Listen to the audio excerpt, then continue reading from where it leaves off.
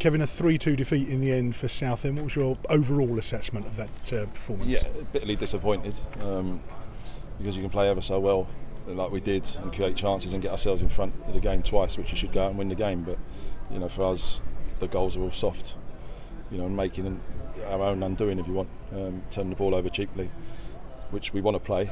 But you know, we've got to play the right pass at the right time. It's just a little bit of sloppiness and maybe mental fatigue that's that's cost us. Is that what's killing you? He- he- the players are knackered, aren't they? Yeah, you can see that. You can almost feel it, can't you, at times? And sometimes our decision making then's got to be better. Um, and we want to play, but it's got to be the right, right time and the right, the right balls. Saying that, we think we've had enough chances. Then, you know, the, the disappointing thing is probably that they've gone through us too easily at times, um, which, you know, there's no excuses for. It must be doubly disappointing because you got yourself into the lead twice in this fixture.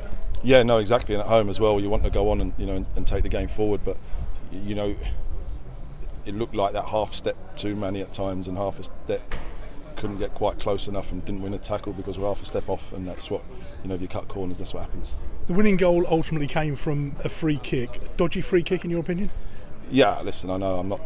It's not the referee's fault we've lost the game first and foremost, but there's fouls that I think the, the crowd reacts, and you can tell it's not a foul, and we can't get one. Fouls on Powley, there's fouls there we can't get, and all of a sudden he starts giving them second half, and then it just lets them build up momentum. And listen, it's no, it weren't a free kick, but there's no excuse for us not defending it better. What do you take from this particular fixture? I suppose uh, goals from uh, Bridge and Gus Scott Morris to get their seasons up and running. Yeah, which is pleasing.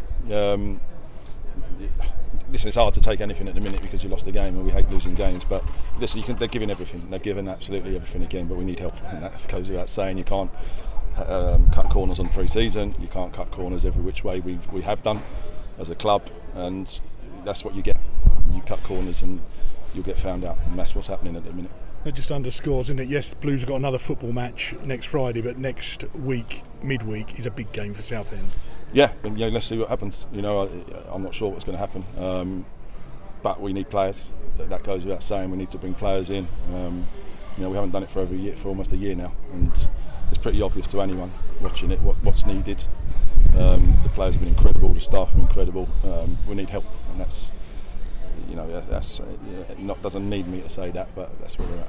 If you do come into that position where you can buy players, are you are you all set to go? Have you got things in the fire? But it's it's hard Yeah. because you know we can talk to whoever we want. People, players are going all the time. You know, clubs are signing players all the time. Um, are people going to commit to Southend when we're in the situation we're in? Um, I think there's plenty that will come want to come here because you see the crowd, you see the fan base, you see what the football we want to play.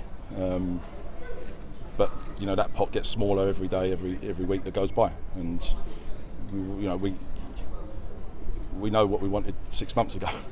That hasn't changed, you know, and what the players need is help, and what we need is a little bit of help as well.